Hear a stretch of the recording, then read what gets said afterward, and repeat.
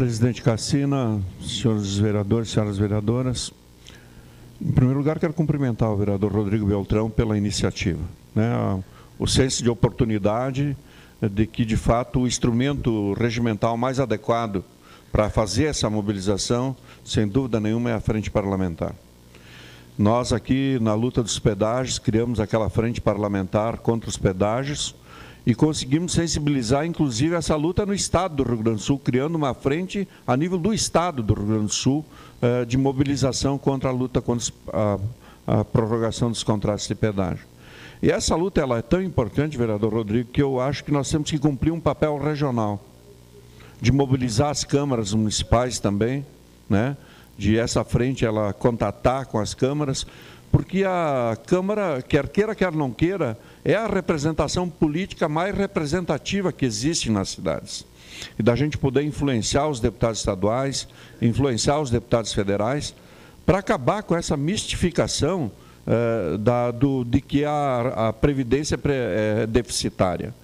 Né? A Rede Globo, os grandes instrumentos de mídia da, da, do, do, país, comprometidos aí com as grandes seguradoras, com aqueles que estão por trás desses interesses todos, desses projetos de capitalização, eles vendem o peixe deles de uma forma completamente é, mentirosa. Mentirosa, né? Porque, efetivamente, se nós analisarmos sob a luz da Constituição, sobre os instrumentos que, e os recursos que garantiriam o, o, a Seguridade Social, efetivamente não tem prejuízo, tem superávit. O problema é a DRU, a desvinculação de receitas da União, é a utilização desses recursos que deveriam ir para a Seguridade Social em outros projetos e principalmente no pagamento desse juro. Uh, esse juro criminoso, né, acumulado hoje por duas mil famílias nesse país que levam 45%, alguns trilhões, alguns bilhões de reais, né, todos os anos, e não se fala nisso, tu não vê um debate na Rede Globo, na Rede Record, na SBT, eh, aonde se fala sobre o problema principal do Brasil, que é o pagamento dos juros da dívida pública.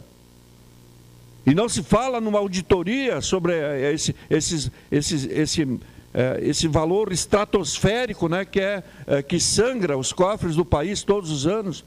Não se fala sobre os grandes devedores da Previdência, bancos inclusive, e os próprios grupos de comunicação.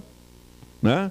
Não se fala sobre as desonerações irresponsáveis que foram feitas né, ah, para setores específicos eh, da economia e que também eh, contribuíram em muito. E aí só se fala o seguinte, que aquela contribuição da empresa e aquela contribuição do, do, do, do peão, do operário, não cobre a, o déficit da Previdência. Mas que déficit? Se os recursos da Seguridade estabelecidos lá na Constituição, eles estão Uh, sendo surrupiados, né? surrupiados né? e não se diz nada sobre ele. Então, o nosso papel, vereador Rodrigo, é nesse sentido. É de mostrar para a população que nós estamos sendo enganados. Tá? Porque mesmo nas mídias sociais não é, não é difícil ver um monte de pessoas defendendo essas propostas absurdas, né? absurdas, é, que vão fazer com que as pessoas vão se aposentar com 50 anos de contribuição, se estiverem vivas, né? Se estiverem vivas, né? As futuras gerações, nossos filhos, vão trabalhar a vida inteira. E isso pode gerar, inclusive, todo uma, uma, uma, um descontentamento a nível da população de não contribuir mais.